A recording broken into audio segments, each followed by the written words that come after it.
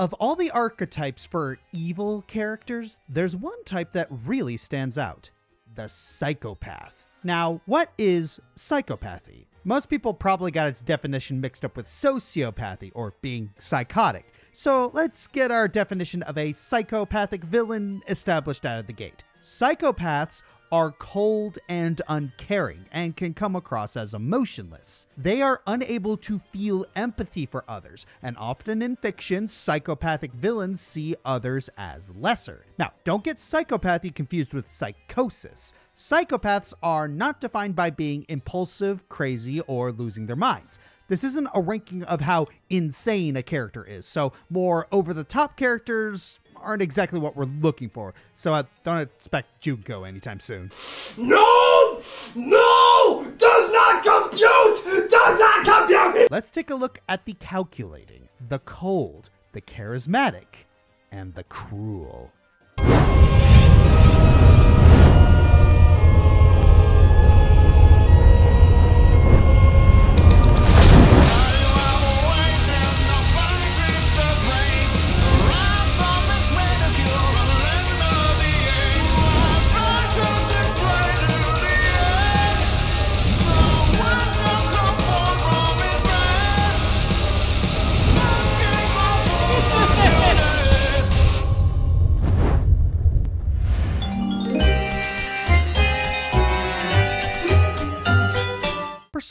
Went for lower stakes compared to most other Megami Tensei games. Rather than saving the world from an all powerful god, most of the game involves you solving a murder mystery in a small town by fighting shadows in an alternate dimension accessed by going into a TV.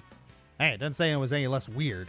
And like any good murder mystery, there's tons of misdirection before you get to the real culprit, Adachi.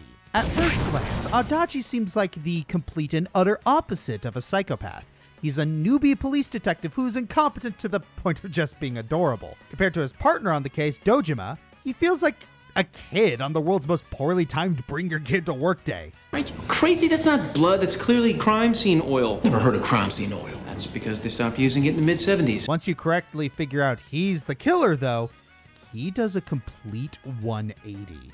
He was manipulating you the entire game, and Namatame was nothing more than his misguided pawn. As it turns out, Adachi also has the ability to summon a persona. Heck, his is even an evil version of Narukami's. And then there's how his own development serves as a perversion of the heroes. All of them had to deal with unfair circumstances in life, but were able to overcome them thanks to confiding in others. Adachi, on the other hand, just sunk further into his self delusions. He doesn't have any aspirations to conquer the world, just have fun in his own sadistic way. If you're not careful, he can trick the characters and, by extension, the player into getting the bad ending.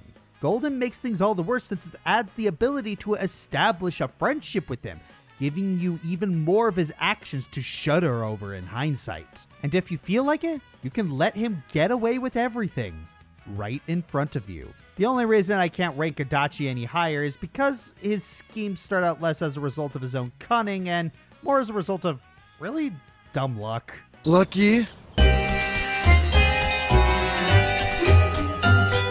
What is it about true crime shows that draw our attention? Is it the mystery of the crime committed or the morbid curiosity of the motive? What drives a murderer to commit their grisly deeds? Money, notoriety, revenge? Well, in this case, that need to kill in your head is art! Which brings us to Jhin, the virtuoso, an eerie serial killer hidden behind a mask. He is an ace marksman with a twisted fascination with death. To him, killing isn't a necessity, it is an art, and the target is at their most beautiful once they've met their fate. And it's his goal in life to make sure every death is a perfect masterpiece. He also has a particularly eerie flower motif, symbolized in his cinematic trailer where his performers explode into a blossom of flowers upon their demise. If his mindset wasn't terrifying enough, just listen to his voice. He barely ever raises it except to laugh. Other times. There is no drama in a peaceful death. And now the curtain rises. Only perfection is acceptable.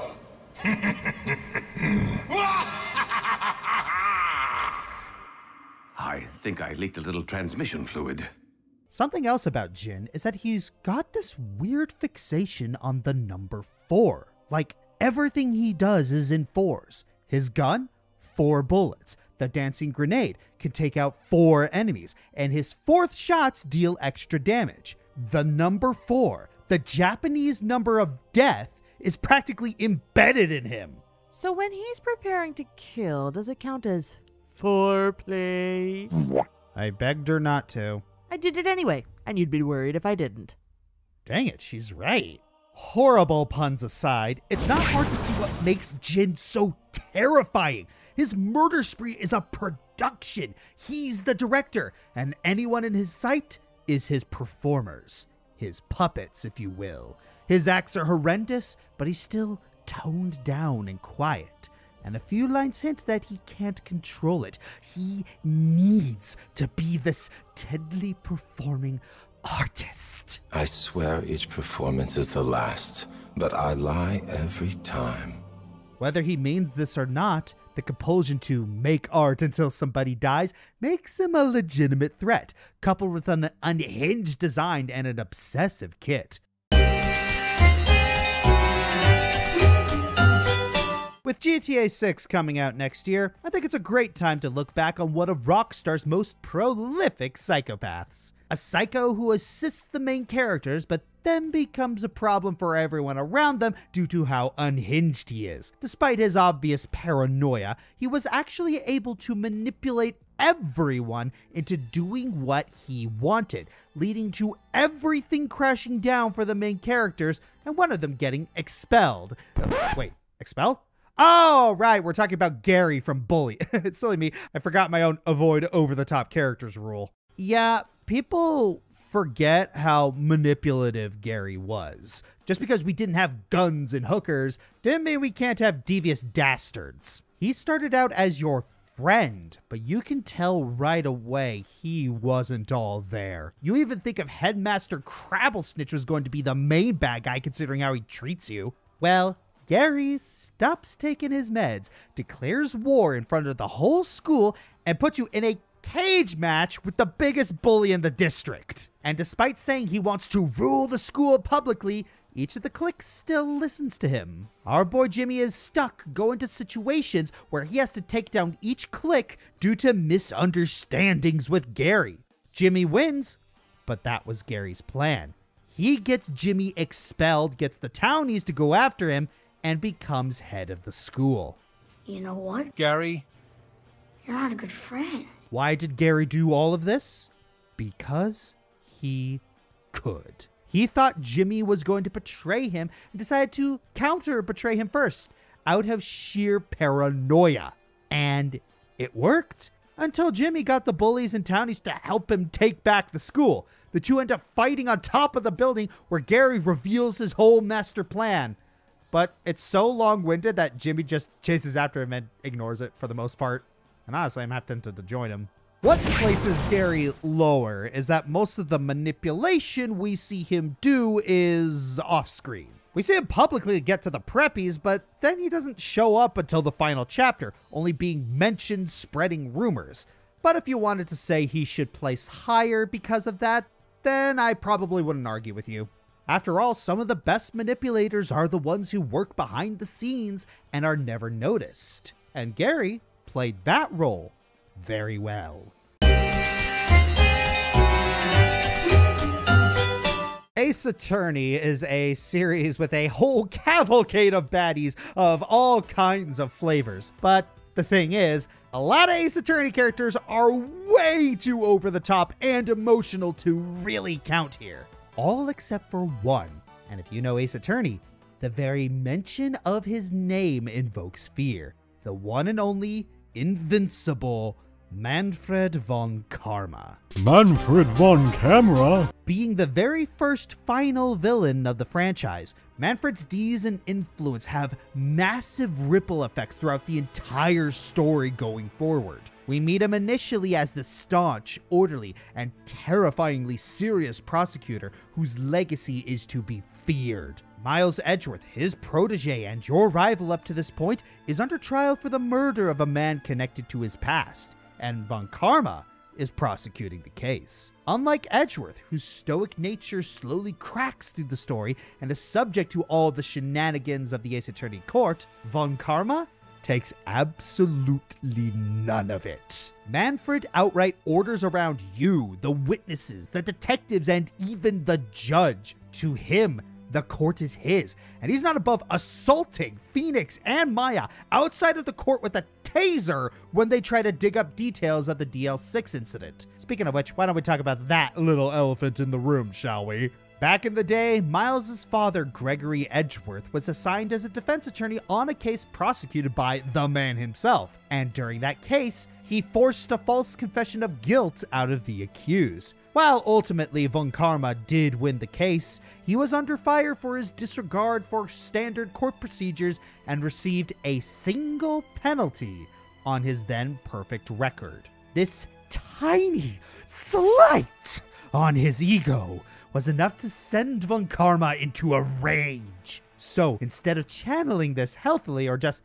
sucking it up and letting go, Von Karma ambushed Gregory in an elevator, taking advantage of a sudden earthquake that blacked out the power and rendered everyone inside unconscious, and shot Gregory dead with as much personal investment as if you'd wiped out a stay. He left Gregory's corpse with the elevator's other occupants, a bailiff named Yanni Yogi, and Gregory's own son, Miles. I've been traumatized! This single act sent everything into motion. The Fey clan's involvement with the law, Maya's disappearing mother, Mia's death, and Edgeworth's PTSD changing him into an emotionally stunted prosecutor set down a darker path. The DL6 was the origin for all of these. And if you think it stopped there, oh no! Von Karma ended up adopting Miles. The overly charitable among you would say this was motivated by guilt, but realistically, it's far more likely he could make sure Miles wasn't a liability for him,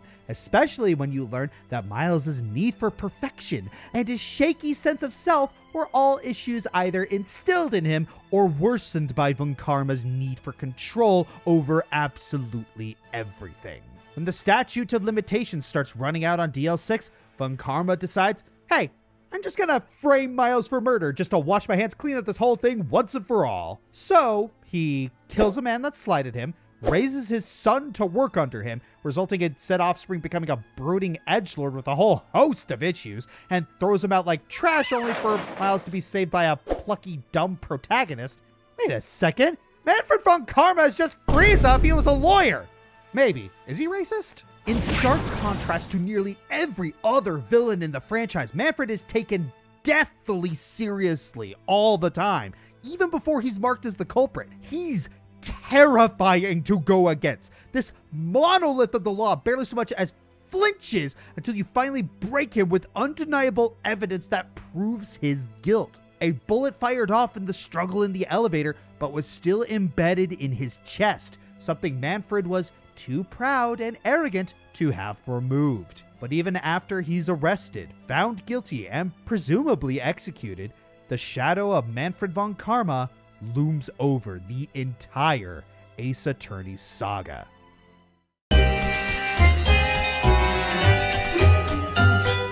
Let the tearing of limbs commence. Chop chop. Okay, anyone confident enough to walk around in that much swag has to be a psycho.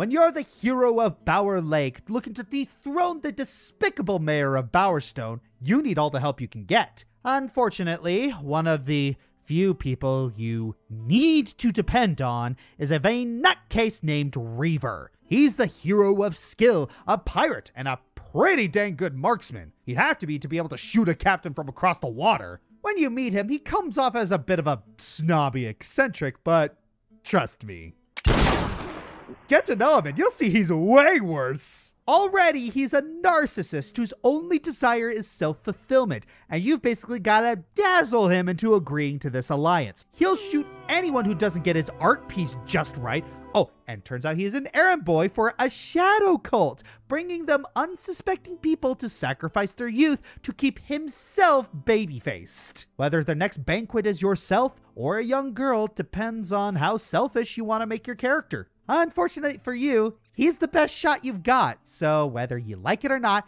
and you won't, you're stuck with him. At least until after the main story for Fable 2. Oh, and when you next meet him in Fable 3, he only gets worse. He became a rich industrialist with all the compassion and fairness of a GameStop manager who openly and proudly promotes child labor. Oh, and uh, he also hosts masquerade parties where he gets to kill people because why not? Why do I picture him investing in the Hunger Games because he funny? But of course, Reaver didn't start out as an unhinged aristocrat. The whole reason he's been dealing with the Shadow Court is because he genuinely fears growing old and death. It's an understandable fear, but he took the coward's way out by selling out innocent people, and it cost him his village and a loved one. Then I see him running madly through fields, the realization of just what price he has unwittingly paid hanging like a tragedy mask from his face. He falls to his knees before the town he called home, now a dark circus of screams.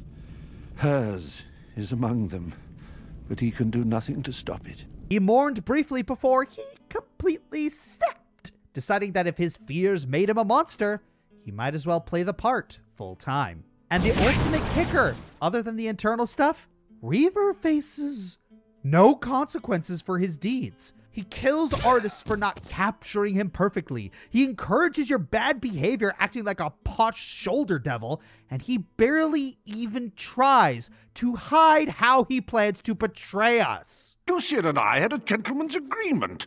How dare he betray me? And just when I was in the middle of trying to betray you. How inconvenient. But again, we need his help. So we're gonna have to grin and bear it. I feel like we could have delved deeper into the complexities of how he was shaped like this, but hey, we still got a fun, amoral character, made even better by Stephen Fry's voice acting.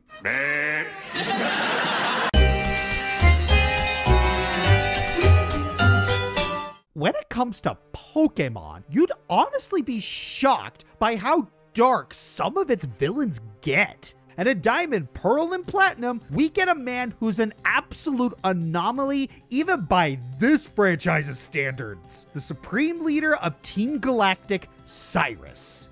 This guy is creepy. Being the leader of a villainous organization, he's already on the headlines of Sinnoh's Most Wanted. Team Galactic gets really busy, not only stealing Pokedexes, but they go as far as bombing a lake to draw out legendary Pokemon. But nobody, not even Cyrus's loyal admins, is aware of just how far his plans go. See, Cyrus doesn't like people, believing the human heart is inherently flawed and that emotions are a weakness. Cyrus wants to use the emotional trio to draw out Dialga and Palkia, the gods of time and space, and use them to destroy the universe and remake it in his own twisted sense of peace, one where human emotion is gone. That is certainly a plan, and Cyrus is sure to wax poetic to you about his philosophy. And true to his goals, hearing Cyrus talk, it's chilling just how devoid of emotion he sounds, how little he seems to care about anything other than his lofty goals. And when you defeat him in Platinum, he's pretty chill with just staying in the distortion realm and being roomies with Giratina. You'd think being trapped in an eldritch hellscape for all eternity would be something to bother you, but he's just fine with it. But his plans don't even stop there. In Masters, Cyrus runs into Darkrai and finds that the endless dark nightmare of pure nothingness that the ghoulish phantom subject his victims to is just the type of empty universe he can get behind. Cyrus sees putting people into a void of darkness as a kindness. And that's the thing. Cyrus feels little malice with what he does. It's just cold, hard logic with this guy. And you find enjoyment in this? Oh no, I feel absolutely nothing as I'm saying it. But the funny thing is, as much as he wants to deny it, Cyrus still feels some emotion and connections to certain things. He has a Crobat for starters, and anyone who's raised one of those can tell you you need to max its friendship to get Golbat to evolve. But more interestingly, you can meet his grandfather in Platinum. He tells you that as a boy, Cyrus never really was able to live up to the expectations of his parents and found solace in machines instead. Couple this with a strange note from a child fawning over a Rotom in Team Galactic's base, and his interest in the Rotom Dex in the Rainbow Rocket storyline, and it almost humanizes Cyrus as someone who could just never really click with other people and thought he could fix humanity like he would a machine. Fun fact, by the way, despite how he looks and acts, he's only 27 years old. All that brooding might not have been the best for his health, as it turns out.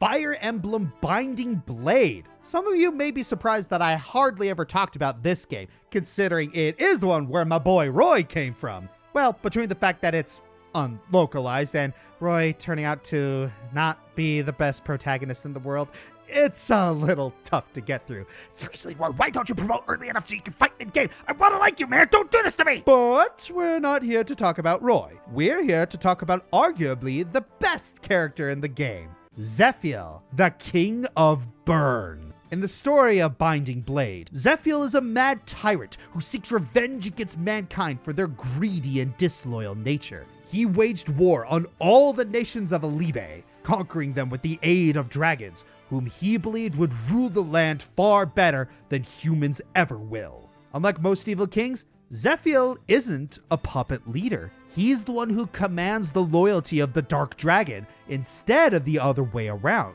which really paints a picture of how powerful and meticulous he is on his own.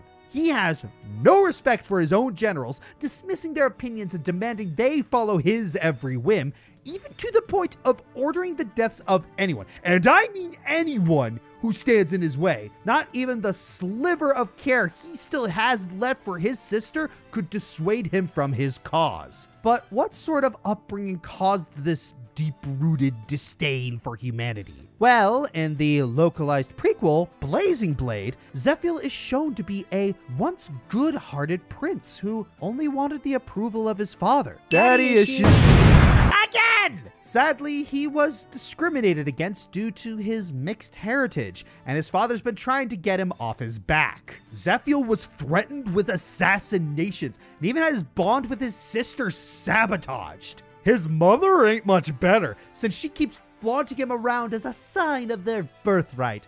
But hey, she did at least try to make amends with him, until she mysteriously kicked the bucket. Yeah, Desmond makes Bernadette's dad look like Jeralt in comparison. And I thought I was evil. After how awfully he's treated, Zephiel could only see darkness. Intentional or not, he's molded to see how fragile goodwill is in the face of hatred and cruelty, sprung out of petty desires like blood, money, and status. By the time he slew his father, he's far too jaded to feel any guilt or remorse for turning away from his once noble self. Even his plan to conquer Elibe only further justifies his point. All these nations were betrayed by the very soldiers and nobles they sired because they would all rather join Zephiel, whether it was out of fear or to leech off his power. He single-handedly uprooted the corrupt nobility that plagued Elibe and indirectly showed how important it is for the good people of the land to bend together and set things right. Zephiel is a truly dangerous case of psychopathy by nurture. The man was a talented prince dedicated to doing good for his nation, and the way that relentless devotion carries over into his transformation as a tyrant is downright morbid. Denying him happiness for a lifetime is truly one of the worst mistakes anyone in Fire Emblem could ever and has ever made.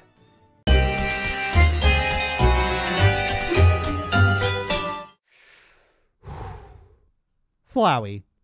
In this world, it's kill or be killed.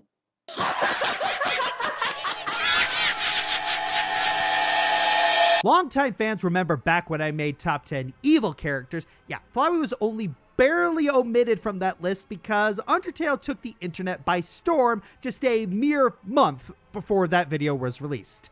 Needless to say, this was a long time coming. The result of an experiment gone wrong, fusing the ashes of Asriel, the late son of the Underground's royal family, with a flower to just see what would happen if you give life to something without a soul. Flowey's absolutely nothing like the shy goat boy he once was. When he first came to life, Flowey found himself filled with so much determination that he had mastered saving and loading. So, with godlike power, he quickly became bored. This is why I was always getting bored, because it says boring! He tried everything to really elicit any sort of emotion. He befriended everyone in the underground, but felt no real connection to them. So he reset and then decided to kill everyone instead, over and over again.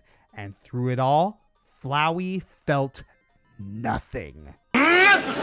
Given his existential nightmare of a life, Flowey literally cannot feel any positive emotions, and his glee at watching you squirm and struggle is only a facade. Because once he recognizes that you have the same powers as he used to, he expects you to do the same things he did. Do a neutral run?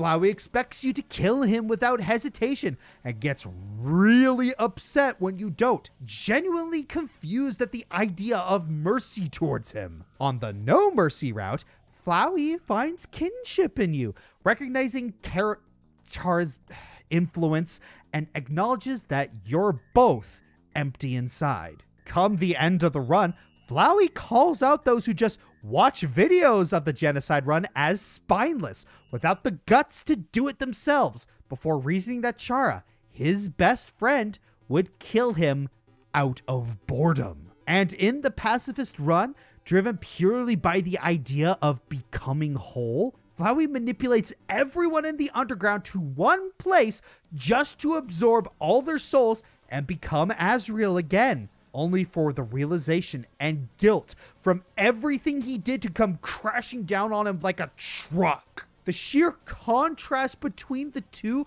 only highlights just how literally heartless Flowey is. Put it all together, and Flowey's nightmarish actions and killer be killed philosophy all but solidify his placement here. Even in the No Mercy run, he just sees his past relationship with Chara as less of the tight friendship they had in life and more of a case of mutual tolerance. In a game where you have the potential to be the bigger evil, Flowey still ends up standing out as one of the most horrific villains to ever come out of the indie scene. All of this from a flower. Whatever Toby Fox is cooking with Deltarune, if it's even remotely like this, we are not prepared. We've had manipulative psychos, violent psychos, apathetic psychos, sadistic psychos, and way more that I wish we could have talked about, but there is one psychopath that combines them all. Here's Terumi! Oh man, it's been a while since we talked about BlazBlue, and we are coming back with the god of chaos himself.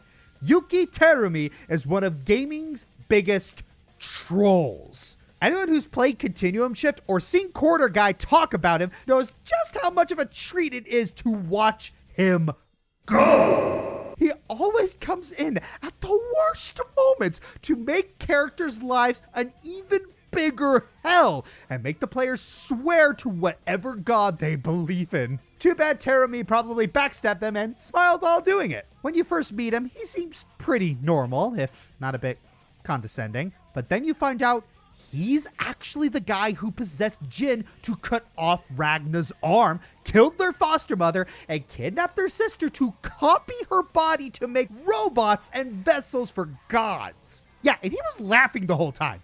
That is barely 5% of what he is involved with. Seriously, Terumi's behind everything. Ragna's tragedy, the Ikaruga War, the Librarium as a whole, humanity finding the Amaterasu unit, and the Murakumo units.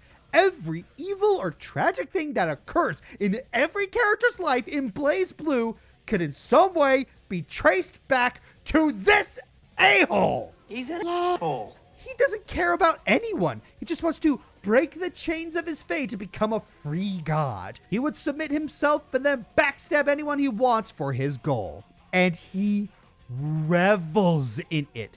It literally gives him sustenance. Coming in, gloating at how he got the upper hand, and then just brutally torturing someone is akin to anyone else eating. Just look at any scene of Hazama or Terumi in the games, and you'll just be impressed by how much of a hole this guy is. It is no surprise that he ends up being the main villain of the series. He does everything, and I mean everything, to accomplish his goals. What I listed earlier doesn't come close to the total destruction and insanity that he goes through on a whim. And this is a series with people like Relius Clover and Izanami, whose actions make war criminals seem pleasant. Terumi really is the end all of video game psychopaths. Even in the rabbit hole of BlazBlue, he's the one thing people remember and love most about it. Now, if he's so good, why is he only number two? Well, Terumi is someone who revels in his psychopathy so much that he doesn't even bother hiding it.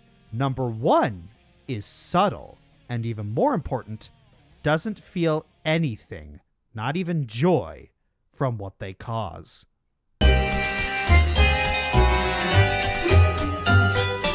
Albert Wesker, Resident Evil, a greater good Fruit Loop trying to destroy humanity to save it. Andrew and Ashley, Coffin of Andy and Leyley, the brother sister cannibal duo with a toxic bond that's more disturbing than any demon. Vladimir Makarov, Call of Duty, the ends justify the means, so why not end everyone on his way to the top?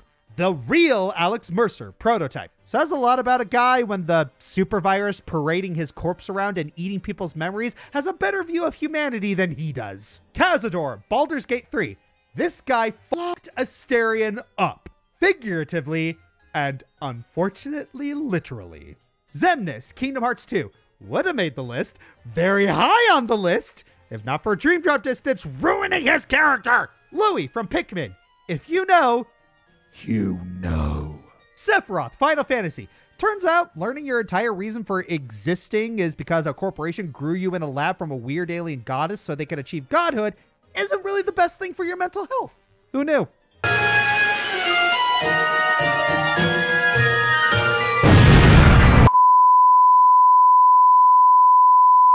Good evening, citizens and leaders of the world. Minutes ago, operatives working for Advance detonated nuclear explosives simultaneously in four major cities across the continent. Um. What the f- What you just saw was a message from Prime Minister Julia Salisbury, a politician from a little game called Not for Broadcast. In short, it's an FMV player choice game where you edit a live news broadcast and control what people see and hear through the media. All the while, your dystopian British nation faces increasing political turmoil. Julia is a representative of the Advance Party, and the game's first broadcast shows her, alongside Peter Clement, giving their address after having been elected as the nation's prime ministers.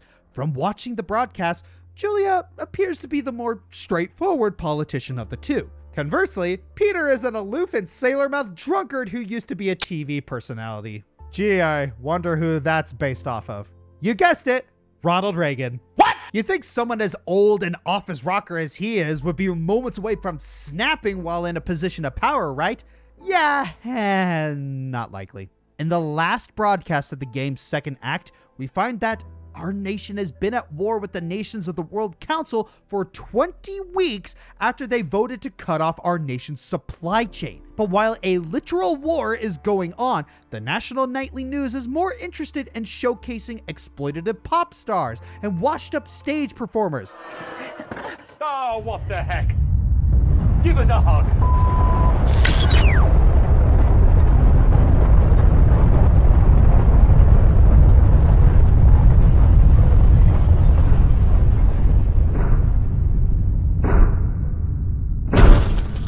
That is, until a mighty rumble kills your equipment and interrupts the broadcast. And by the time it comes back online, the amount of casualties has spiked to over 14 million people. And guess who was responsible for that? Yes, it's me. I know you were all waiting for me. Keep in mind, the possibility of all of these deaths being enemy soldiers is slim to none. Most of these were likely civilians or tourists, and yet Julia not only blows them all sky high, but she even threatens on live television to set off more explosives if the World Council doesn't surrender their nations and citizens to Advance's new future. I don't think you need to be a politician to know that using genocide as a method of coercing several foreign governments into compliance is a very serious bad thing. Julia already cemented herself as a genocidal dictator, and yet she's somehow worse than that. Throughout the game's third act, we hear more and more people unable to have children, or at least unable to have children that aren't born with several birth defects. Why?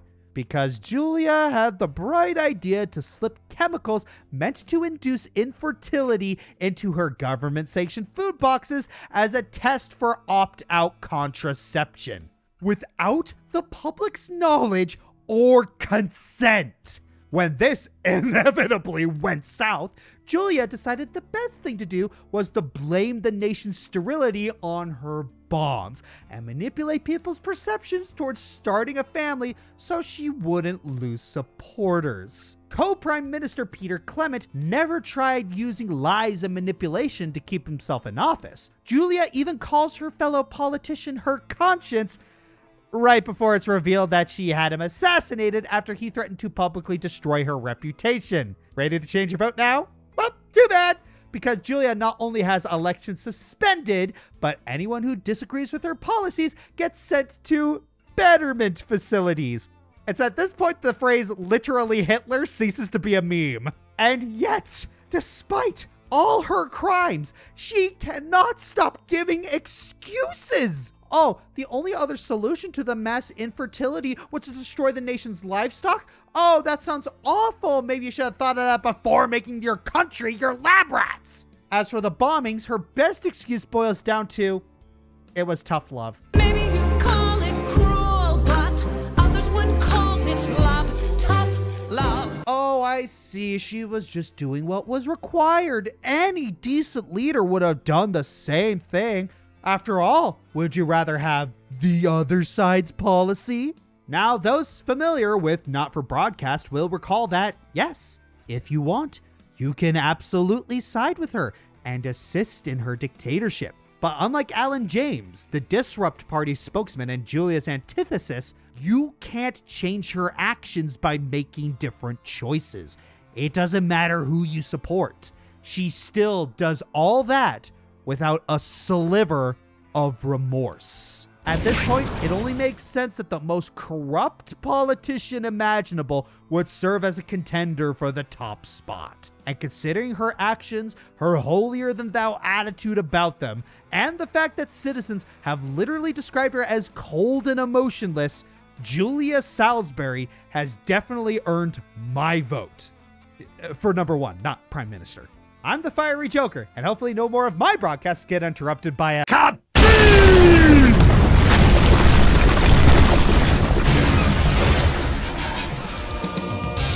Everyone, this is Josh. If you like this video, please like, subscribe, leave a comment, and share the video around. Please check out my other social media like my Twitter, Twitch, and Tumblr.